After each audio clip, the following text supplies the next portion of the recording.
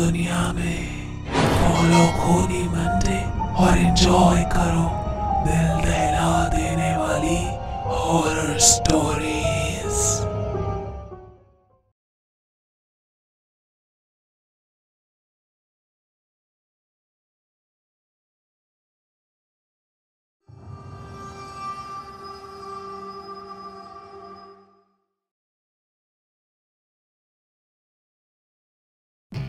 Amy एक जानी मानी पैरानॉर्मल इन्वेस्टिगेटर थी। वो कई सालों से ऐसी जगहों पर विजिट्स करती थी, जिनको हॉन्टेड कहा जाता है। वहाँ जाकर एमी उन जगहों के असलियत में हॉन्टेड होने या ना होने का सबूत खोजती थी। हाल ही में एमी ने अपनी विजिट्स की वीडियो रिकॉर्डिंग्स को सोशल मीडिया पर डालना शुरू किया था, जिसके चलते उसका एक काफ़ी बड़ा फ़ैन बेस बन गया था।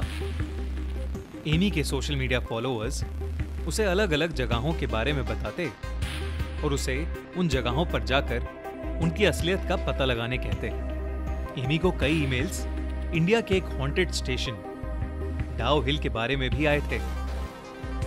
फैंस एमी को डाउ हिल से जुड़ी बहुत डरावनी कहानियाँ भेज रहे थे। इसलिए एमी ने डिसाइड किया कि वो इन कहानियों के पीछे छिपे सच का।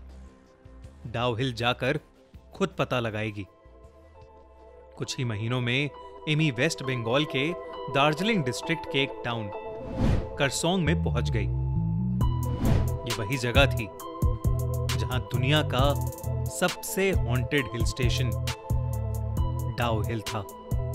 एमी अपनी सारी इन्वेस्टिगेशंस रात के टाइम ही जाया करती थी, पर क्योंकि वो सुबह ही वहाँ पहुँच गई थी तो उसने कुछ लोकल से बात करने का सोचा।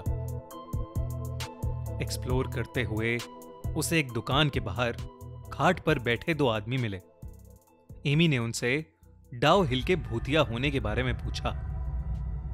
डाउ हिल का नाम सुनते ही खाट पर बैठे दोनों आदमियों के चेहरे का रंग बिल्कुल उड़ गया और उन्होंने एमी को धीमी आवाज़ में बात करने को कहा। उन्हें इतना डरा हुआ देख एमी को बहुत अजीब लगा।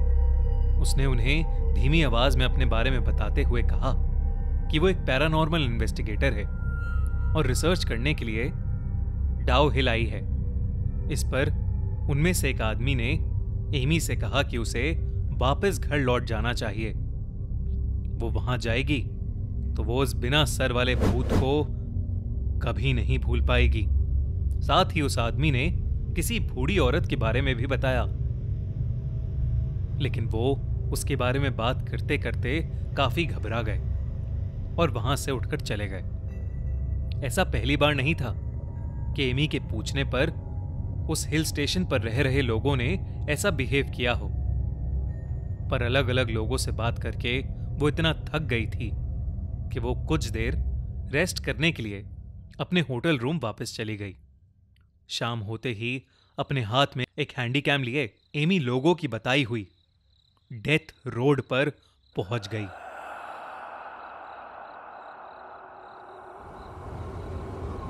उस जगह पर चलते हुए एमी को अचानक बहुत ठंड लगने लगी।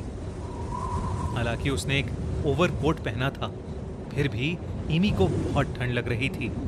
एमी चलते हुए अपनी वीडियो में उस जगह की डिटेल्स को डिस्क्राइब कर ही रही थी कि तभी उसके पैरों में कुछ फंसा और वो लड़खड़ा कर रोड पर गिर गई। वो रोड दोनों तरफ़ से जंगल से घिरी हुई थी। और वहाँ दूर दूर तक कोई नहीं था। वहाँ बस पेड़ ही पेड़ थे। तो एमी को लगा कि किसी पेड़ की कोई टहनी ज़मीन पर गिर गई होगी और उसे दिखी नहीं होगी। एमी ने उठकर जब अपने कपड़े झाड़े और जैसे ही पीछे मुड़ी, उसने देखा उसके पैर किसी टहनी पर नहीं। बल्कि किसी और के पैरों से टकराए थे। एमी ये देखकर बहुत ज़्यादा घबरा गई।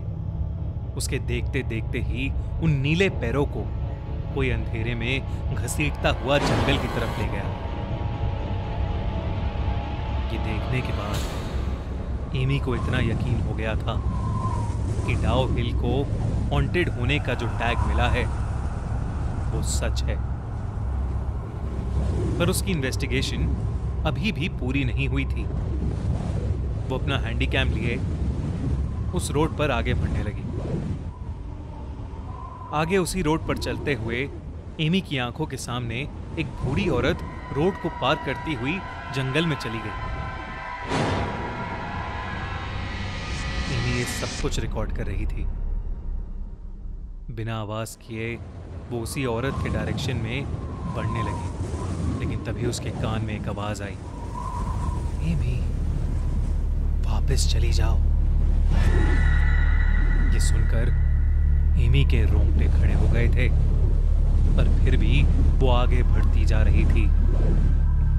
उसे तलाश थी उस बिना सर वाले लड़के की, जिसके बारे में सभी ने उसे बताया था। एमी जैसे जैसे आगे बढ़ रही थी। उस रास्ते की सड़क छोटी होती जा रही थी, और वो जंगल बेहद घना होता जा रहा था।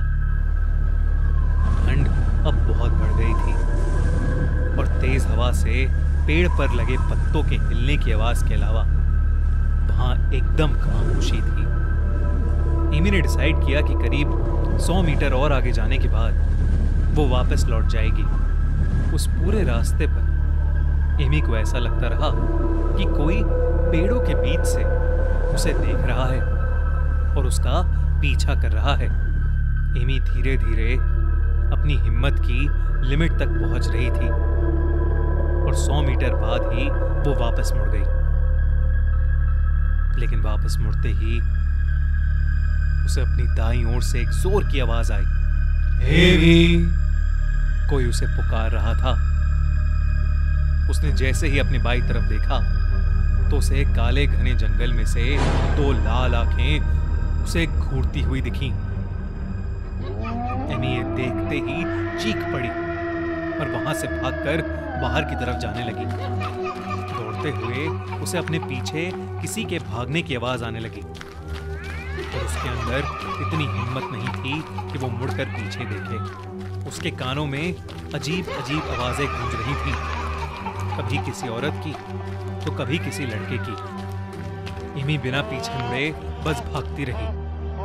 और कुछ ही देर में वो उस डेथ रोड से बाहर आ गई। वो घबराई हुई तो थी, पर खुश थी कि उसके हैंडी कैम में उन सारी घटनाओं का सारा एविडेंस रिकॉर्ड हो गया था। इमी की फ़्लाइट अगले दिन की थी, और उस दिन हुई घटनाओं के बाद एमी बुरी तरह एग्जॉस्ट हो चुकी थी। उस रात उसने अपना हैंडीकैम टेबल पर ही रख दिया और सोने चली गई। करीब एक घंटे बाद ही एमी के कानों में फिर से कुछ आवाज़ आई और एमी की नींद टूट गई। एमी ने जब अपनी आँखें खोली तो उसकी आँखों के सामने बिना सर वाला भूत खड़ा था। उसने एमी के हैंडीकैम को पकड़ रखा था और देखते ही देखते उसके हाथ में लिए हैंडीकैम में आग लग गई। एमी को उस साय की ज़ोर ज़ोर से हंसने की आवाज़ आ रही थी। देखते ही देखते एमी का हैंडीकैम जल गया और वो साया एमी के पास से एक फ्लैश की तरह गुजरा और एमी बेहोश हो गई। सुबह होटल मैनेजमेंट के स्टाफ ने उसे उठाया। एमी ने जब उन्हें सब कुछ बताया तो लोकल्स ने तो ये सब मान लिया। पर एविडेंस ना होने की वजह से जब एमी ने वापस लौट कर ये बात अपने फॉलोअर्स को बताई तो उसे लोगों ने बहुत ही मिक्स्ड रिस्पॉन्स दिया। कुछ एमी की कहानी को झूठा कहने लगे और कुछ को उसकी बात पर यकीन भी हुआ। एमी ने अपनी लाइफ में कई अजीबो गरीब घटनाएँ देखी थीं, लेकिन कभी ऐसा एक्सपीरियंस नहीं किया था कि जहाँ उसे अपनी लाइफ की चिंता होने लगे। डाउ हिल का वो एक्सपीरियंस उसके लिए बिल्कुल वैसा ही था। डाउ हिल की सच्चाई आज भी एक मिस्ट्री है। आपको क्या लगता है? कमेंट्स में हमें ज़रूर बताएँ। और अगर आपको एक कहानी अच्छी लगी तो अभी हमारा चैनल खूनी मंडे सब्सक्राइब कीजिए और देखते रहिए हर हफ़्ते एक हिला देने वाली हॉरर स्टोरी